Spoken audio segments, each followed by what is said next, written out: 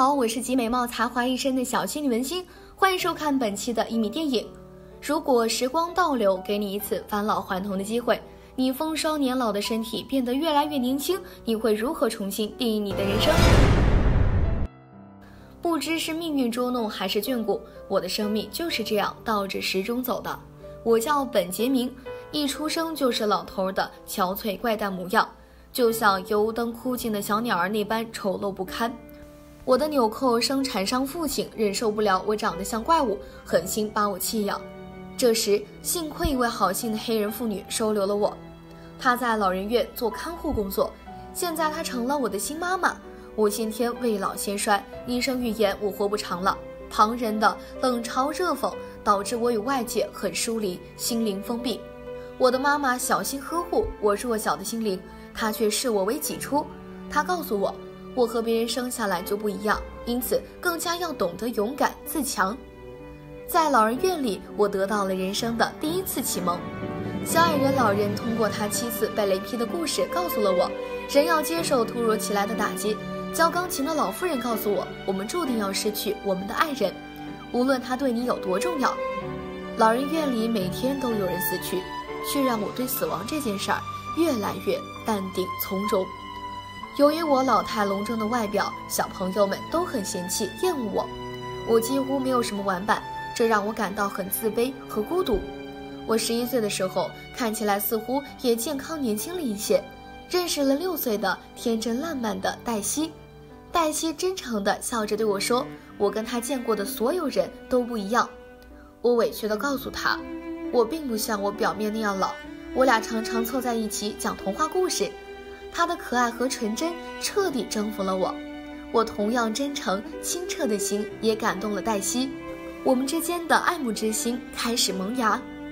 当我长相再年轻些的时候，我告别了妈妈。世界那么大，我想去看看。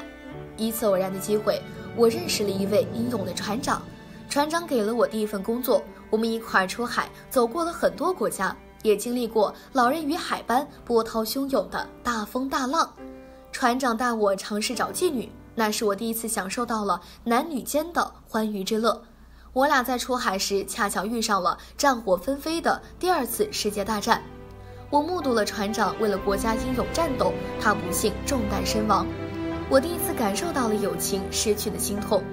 我会带着船长对我的期待和情谊，在人生道路上继续前进。我六十岁的时候，已经摆脱了儿时老态的模样。渐渐成长为帅气且魅力十足的中年人。我跟随坐船的人来到了英国，在这里我遇到了生命中第一个红颜知己，她是一位有品位、有见识的英国女人，也是我人生中第一个吻我的女人。她说，十九岁那年，她试图成为第一个游过英吉利海峡的女人，但是因为坚持不下来，最后五分钟，最后放弃了。到现在还深感遗憾。我们一起看雪、看星星、看月亮，从诗词歌赋谈到人生哲学，从深夜聊到凌晨，我们才依依不舍地告别。然而，他毕竟是一个有妇之夫，迫于良心的谴责和舆论的压力，他给我留了一封信，不辞而别。后来，我在酒吧的电视机上看到他成功游过了英吉利海峡，我会心一笑。当我五十六岁跑船回来，我与儿时的梦中情人黛西在纽约重逢。此时黛西风姿可人，曼妙的声线且相貌出众，她的身边从不缺乏追求者。她是个天生的舞者，享受着充满无限掌声、鲜花、荣誉的纸醉金迷的奢侈生活，偏执地享受着她一厢情愿的以为属于她的那种幸运。我没有抱怨。而是一直默默地守护着他。一次，他不幸遭遇了车祸，我一直不离不弃地照顾他，直到他的双腿能够行走。但是我俩仍然不断的错过，就像世间无数平凡的男女一样，怎样都牵扯不到一起。他年轻时，我太老；我变年轻时，他却老了。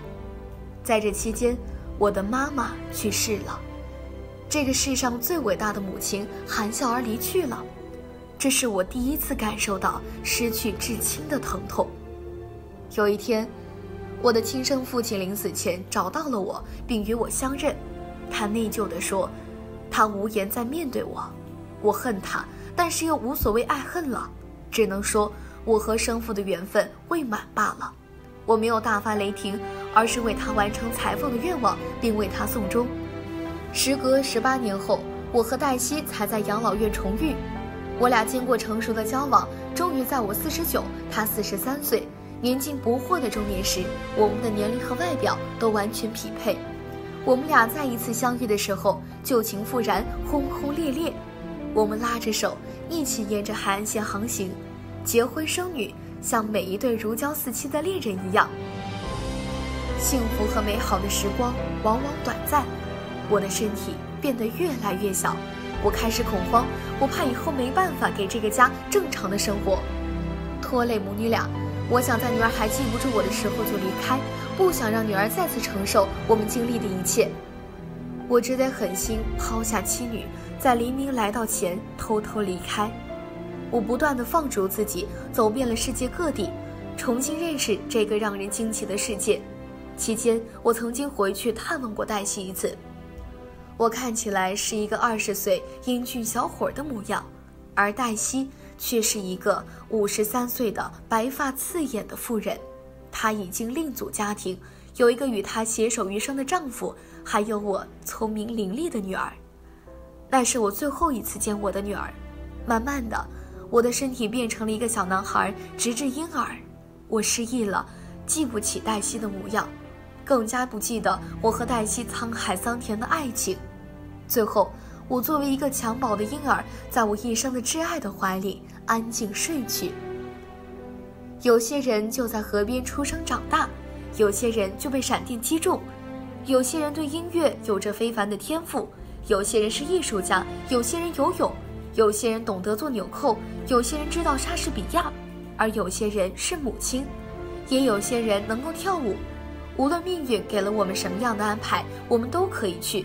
直面死亡，拥抱生命，融入爱情，因为爱在心中不曾离去。